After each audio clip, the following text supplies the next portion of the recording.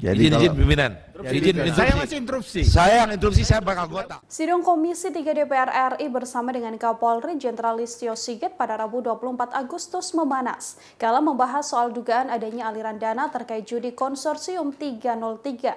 Anggota DPR RI dari fraksi PKS di Nusantara bahkan terang-terangan menyebut nama Kabareskrim Komjen Agus Andrianto sampai Dirtipidum Bareskrim Polri Brigjen Andirian dalam rapat dengar pendapat atau RDP tersebut, Dipo Nusantara menyinggung soal beredarnya bagian konsorsium 303 yang beredar di media sosial. Dipo mengatakan bahwa dalam bagian aliran dana tersebut muncul dua versi, yang mana di antaranya ada nama Irjen Verdi Sambo menduduki struktur puncak. Dalam bagian kedua kemudian dikatakan oleh Dipo justru mempertontonkan nama Kabareskrim hingga Dirtipidum. Pernyataan dari Dipo tersebut langsung disela oleh pimpinan sidang. Interupsi ini yang akhirnya membuat sidang RDP berujung panas. Pimpinan sidang berharap agar tidak ada nama-nama yang disebut dalam rapat tersebut. Namun menurut sejumlah pimpinan fraksi penting agar semua pernyataan soal kasus Verdi Sambo diungkap karena sudah menjadi konsumsi publik.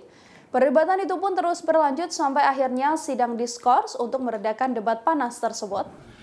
Saya kira hal ini juga perlu diklarifikasi oleh Pak Kapolri beserta jajarannya.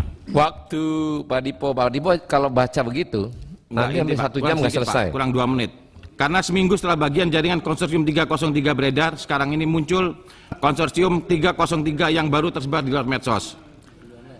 Pada bagian jaringan yang pertama, Pak Ferdi Sambo berada di puncak struktur yang melibatkan beberapa jenderal bintang 1 dan bintang 2 serta beberapa nama sipil yang menjadi pemasok dana judi. Sedangkan pada bagian konsorsium judi 03 yang baru menampilkan kabar eskrim Komjen Pol Agus Adrianto di puncak strukturnya yang diduga menerima setoran bos judi online dari kelompok Medan. Dan pada konsorsium judi 303 ini muncul juga nama Dirpidum Bareskrim Polri Brigjen Andirian Pak Jaya. Dipo, Ya, sekali Pak. saya interupsi. Lebih baik pertanyaannya adalah secara umum. Jangan dibacakan satu persatu, takutnya nanti menyalahartikan kepada orang-orang yang ada di depan sini. Lang, secara umum aja Pak Dipo. Interupsi sudah beredar, pimpinan. Ketua. Pimpinan interupsi pimpinan. Sebaiknya sebagai anggota Komisi 3 kita berbicara berdasarkan data dan fakta, bukan berdasarkan hal yang hoax. Izin, izin kalau- pimpinan. Izin saya instruksi. masih interupsi. Saya yang interupsi, saya bakal anggota. Saya masih Sebentar interupsi, pimpinan. Hak anggota itu, interupsi. maaf, pimpinan nggak bisa. Saya masih instruksi. Bentar, Kenapa saya interupsi juga pimpinan. Nggak bisa saya boleh interupsi mengejas, anggota bertanya, Apa tidak boleh dipotong. memotong saya? Saya masih interupsi. Loh, saya juga nggak boleh Bapak menurut Saya interupsi kok dipotong gimana? tuh? Bukan, Pak. Bapak nggak boleh mengejas juga Baca anggota saya. Pak. Kalau orang interupsi tidak boleh dipotong. Bapak ini anggota DPR kok nggak ngerti tatip. Bapak juga memotong orang ngomong Nggak biarkan bisa, dulu. saya interupsi Selesai kok. anggota saya, Pak. Saya interupsi, Pak. Ya pimpinan tegas pimpinan. Baca tatipnya. Kalau dikasih mana Saya yang memang interupsi. harus bicara duluan. Kalau lagi interupsi, boleh. Baca tatip. Izin Pak Ketua. Kita tenang pimpinan. Ya, terima kasih Pak Nasir Jamil. Jadi saya sarankan sampaikan hal-hal yang sesuai dengan data dan fakta.